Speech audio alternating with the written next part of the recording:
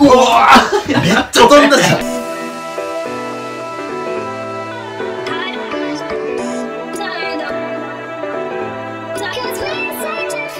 はいどうも。北の内たちのフェルトです。はるくんです。と今日はですね、はい。少し前にツイッターとかで広まってた、はい。ヘアアイロン。はい。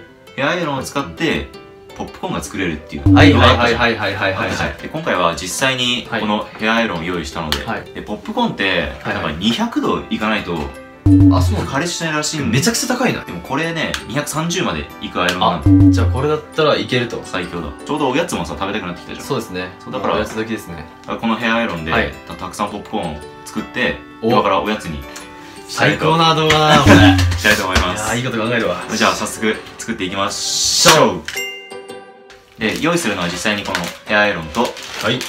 ポップコーンの素の元ですね。はい。でより温まるようにはい。油をはいはい。はいっていきましょう。とりあえずまず1個でやってみたいと思います。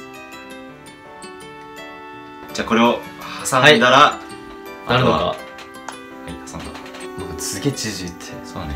あとはこれをただ待つだけです。なんか焼いた匂いしない？これポップコーンの匂いか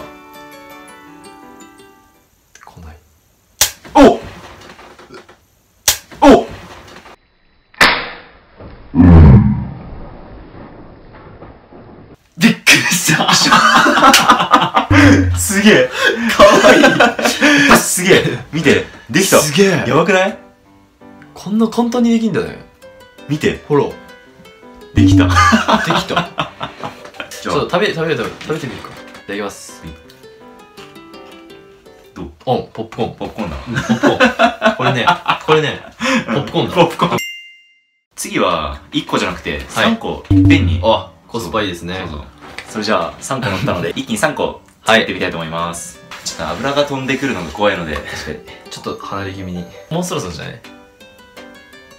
お来た！1個来た！1個できた！もう一回いけ！もう一回いけ！これ挟めてるのかな？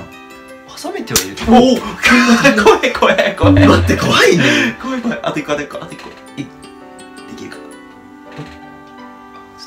うわめっちゃ飛んだじゃん。ごめん。こんな飛ぶ？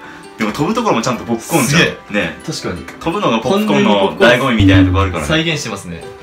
でじゃあはい食べてみたいと思います。いただきます。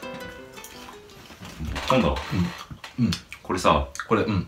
ポップコーンだわ。これもポップコーン。というわけで実際にこのヘアアイロンでポップコーンが作れました、作れましたね。だからおやつとかすぐ食べたい人はこれヘアアイロン用意してあスープ入れて挟んでできてて食べて。食べてでまたいつこれつけてピッてやって挟んで食べてそうそうそれ最高。